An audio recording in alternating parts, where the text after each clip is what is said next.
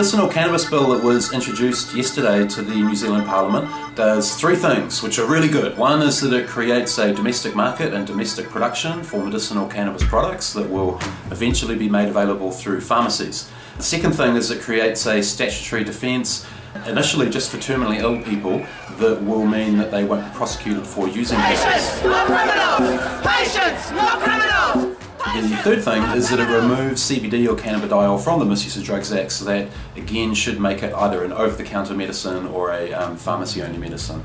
However, hasn't gone as far as what many people were expecting. Labour did say they were going to legalise medical cannabis, and this doesn't really feel like it, not yet.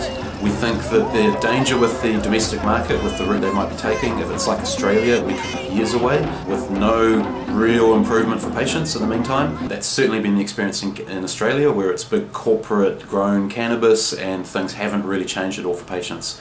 Um, likewise with the exemption or the statutory defence, only applies to terminal people, which is great, but we question the logic behind that, like why, especially when Labour campaigned on legalising cannabis for people with terminal conditions and chronic pain which even then was too narrow and excluded a whole bunch of patients. Why is it only limited to terminal? Um, why 12 months? How they come up with that? What happens if you live longer? Um, it also gives no protection at all um, to the people who provide it. Now, if you have a terminal condition, chances are you're not in any state to grow it yourself. It doesn't actually let you grow it yourself. It's only an exemption for the use of it.